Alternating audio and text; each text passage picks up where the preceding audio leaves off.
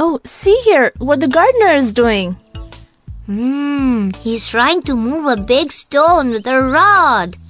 Yes, this rod is called lever. Oh, lever? Yes, let me show you its different parts. Lever? Hey, it is fixed at one point. Yes, the fixed part is called fulcrum. And see, he's putting force with his hands. It is called effort. What is stone called here? Oh, it is called the load. Do you know there are many kind of levers?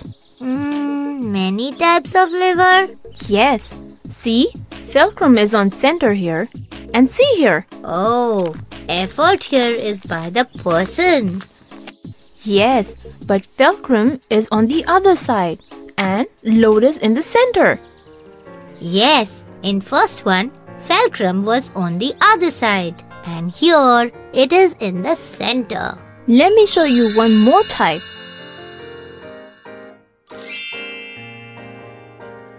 Oh, here effort is in the center. Yes, load is on one side and fulcrum is on the other side. Let's see one more kind of lever. Now, can you tell me where's the fulcrum on this simple machine?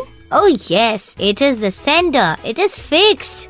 And where the effort is put? Hmm, effort is put from the back and load is on the front.